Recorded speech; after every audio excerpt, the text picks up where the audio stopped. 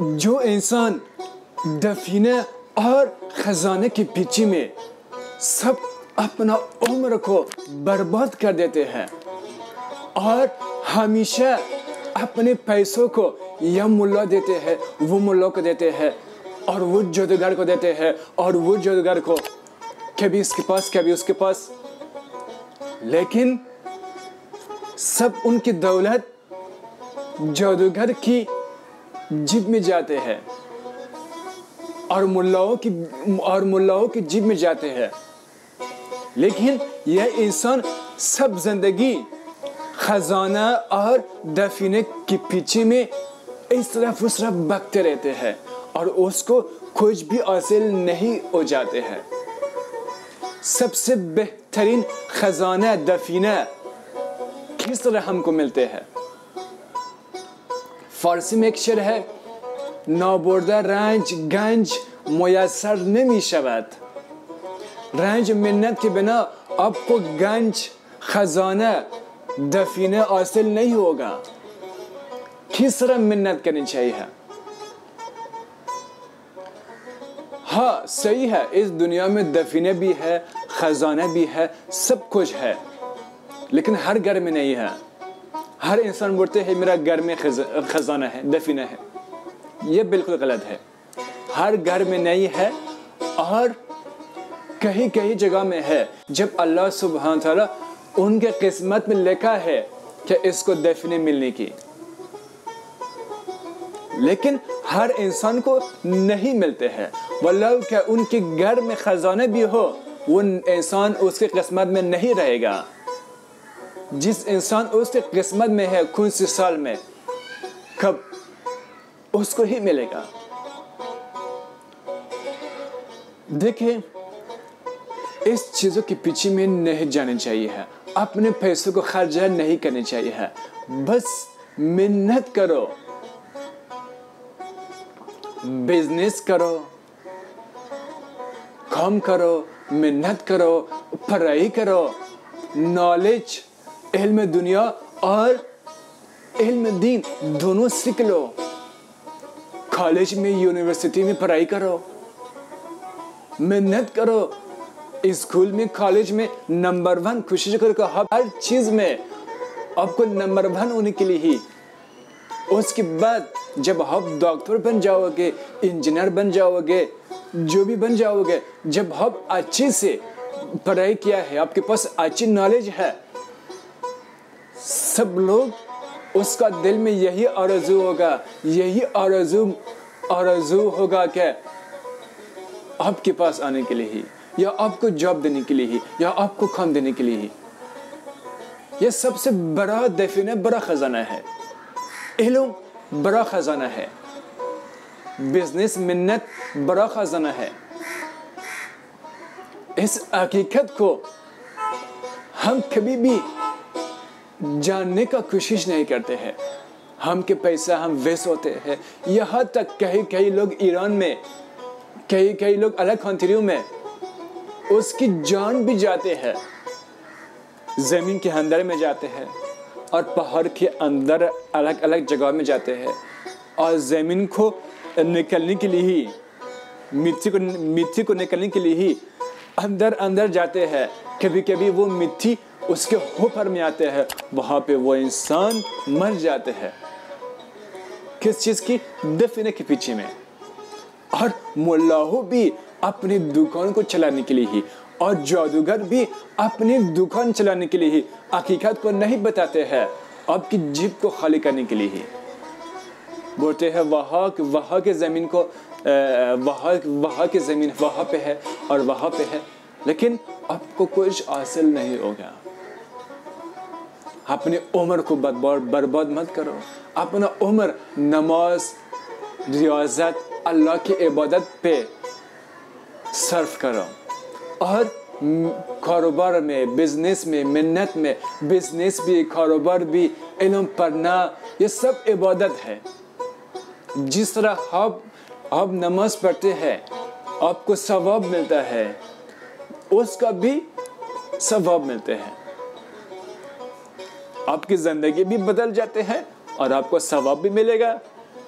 और जब आ, आपके पास इल्म नॉलेज आएगा अच्छा बिज़नेस हो जाएगी आप दूसरों को भी मदद करोगे। सबसे बड़ा दौलत है कब तक आप लोग अपना ज़िंदगी को बर्बाद करना चाहते हैं?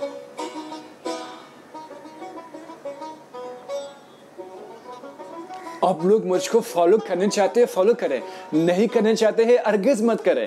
लेकिन मैं हकीकत बोलने से नहीं डरते हो। और ने किसी मुल्ला से डरते हो, और ने किसी जोदगा से डरते हो। मेरा साथ इमाम हुसैन है, मेरा साथ अल्लाह है, और मेरा पावर इमाम हुसैन की पावर है, मेरा दादा इमाम हुसैन का खून मेरा जिस्म है। मैं, मैंने किसी से नहीं डरते। जो हकीकत है, वही बताते हो। अपना ज़िंदगी बर्बाद मत करे, मेहनत करे, दूसरों को थक है, और दूसरों को भी मदद कर सके। इस खजाना निकलने के पीछे में आपकी उम्र सब चीज़ बर्बाद हो जाएगी। मैंने बहुत लोग से सुना कि वो हमेशा खजाना निकलने के पीछे में वो तरपते हैं, जैसे कि मछली, जब मछली पानी से निकलते हैं, वो पानी के लिए ही हमेशा, वो पानी के लिए तरपते हैं। यानी इसी तरह, वो इंसान भी खजाना दफने के लिए ही तरपते हैं। फ्री उसको मिल जाए, मिन्नत के बिना। इस तरह इंसानों से अल्लाह उससे बेजार है। अल्लाह भी इस तरह इंसानों को पसंद नहीं करते हैं। जो मिन्नत के बिना दफीना खजाना उसको मिलनी चाहिए है। यह चीज़ के पीछे में है। अल्लाह दफीना खजाना को जिसको देते हैं, जो मिन्नत से हासिल करने चाहते हैं। मेहनत करते हैं। हर काम में, हर बिज़नेस में, हर कारोबार में। कभी कभी उसके साथ बिज़नेस के साथ कभी उसको दफीने भी मिल जाते हैं। हकीकत को जानने की कोशिश करो। आपके फैमिली के लिए ही, आपके बच्चों के लिए ही मेहनत करो। खजाने के पीछे में मत जाओ, अपनी ज़िंदगी को बर्बाद मत करो। और कोशिश करो सबको मोहब्बत देना, चाहे मुस्लिम हो गैर मुस्लिम हो, जो भी धर्म हो, मोहब्बत देना, मोहब्बत से पत्थर भी गौहर बन जाते हैं। और सबको मोहब्बत दो क्योंकि हम सबकी परवरदगार एक है, अल्लाह है। हम के सबका मालिक एक है, वो अल्लाह है। सबको मोहब्बत देना, अल्लाह भी हमसे राज़ी हो जाते हैं।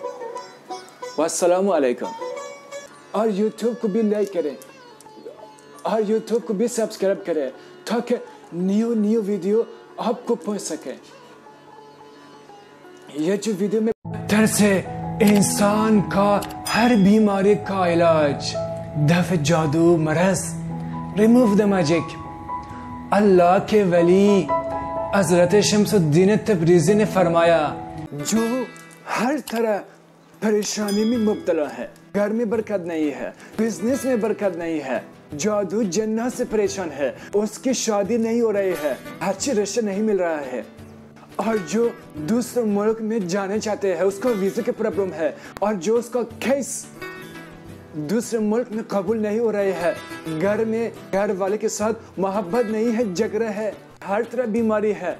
जिस तरह मुसीबत, जिस तरह औजत है। अगर आप चाहते हैं कि आपकी औजत कबूल हो जाए है आप मन्नत रखो, नज़र रखो। अगर आपकी औजत कबूल हो जाए मैंने ख्वाजा जरीफ चिशी का मदरसा मरकज तालीमत सूफिया को पैसे से सुपुत करूँगा इतने पैसे बच्चों के मदरसे के लिए ही मदरसे की तहमीर के लिए ही जो फरशा में सुनियत फरशा में इमाम हुसैन फरशा में आल बैद को ज़िंदा रखना चाहते हैं हमारा मदरसा को सपोर्ट करें मेरा मिशन को सपोर्ट करे, ताकि मैं दुनिया में सुनियत का परचम को बुलंद करो।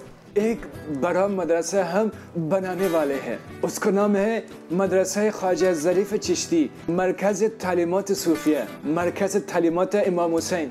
अगर आपको जक़ात है, सदाकत है, जो भी देने वाले हो हमारा सपोर्ट करने के लिए ही। हमारा व्हाट्सअप नंबर यह है, ये व्हाट्सअप को मैसेज करो। लिख दो, हम आपको अकाउंट नंबर देंगे। हमारा मदरसा को सपोर्ट करें।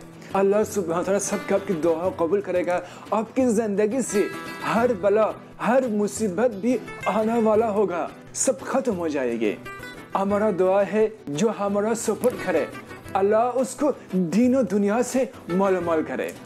पर दादा पीर, की औलादों में से हैं और जैसा ख्वाजा गरीब नवाज़ के पीरो मुर्शद ख्वाजा उस्मान हारवानी और उनके पीर मुर्शद हज़रत शरीफ जंदानी और उनके पीर मुर्शद ख्वाजा अबू मौदूद चिश्ती रहमत की औलाद और इमाम हुसैन सलाम की औलादों में आपका नसब है और सरकार का पूरा नाम जो है हज़रत ख्वाजा जरीफ चिश्ती। सरकार और हिंदुस्तान के खास मैं ये बताऊँगा कि हिंदुस्तान की सरजमी के लिए ये बाईस बरकत है। क्या वो चिश्त घराने के पहले बुज़ुर्ग ख्वाजा गरीब नवाज़ का फैज हिंदुस्तान में जारी और सारी है? आज भी। और ऐसी ही वो चिश्त घराने के फिर बुज़ुर्ग हमें अता हुए और हमें फिर ये समझो कि हुजूर नबी करीम वसल्लम की तरफ़ से ही दूसरे बुज़ुर्ग हमें अता किए गए। तो हज़रत ख्वाजा जरीफ चिश्ती हमारे हिंदुस्तान में आपकी आमद हुई और हम हिंदुस्तान के और भाग जग गए हैं। और किस्मत बुलंद हो गई है कि दूसरे खानवाद रसूल के फर्द हमारे हिंदुस्तान के अंदर आए हुए हैं। अरकद में मुबारक उनके लगे हुए हैं और हम गुनागारों की तकदीर सवर गई।